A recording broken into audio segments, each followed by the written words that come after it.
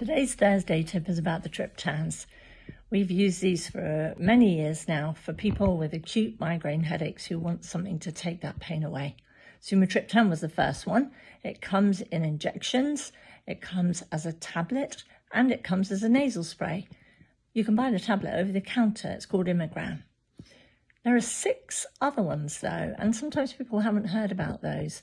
It's worth finding out about them because they have different properties. An individual triptan may suit an individual person better than another one. And until you try them, you can't really tell.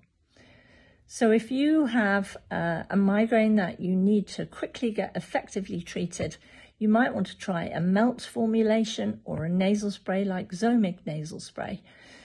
Those can very rapidly work, but they also run out reasonably quickly, so they might need to be taken again. Naratriptan or Frovatriptan are longer acting, so they hang around in the body for quite a, a number of hours, but they are a bit slower in onset. So find out a bit more about the triptans by listening to our Heads Up podcast. Uh, there's a whole episode about the different ones, and hopefully you'll get the best one for your migraine.